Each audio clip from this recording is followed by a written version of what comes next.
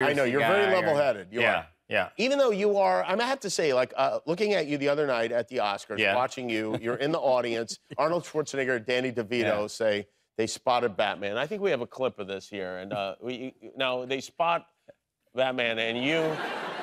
That's a menacing look. I mean, man. there's Yeah. you're a very friendly person, and yet like Yeah. there's a special. Yeah. And There's a little Yeah. bit of a glint of evil in your eyes, Yeah. even maybe. You know what? I, you'll be back when I tell you to come back.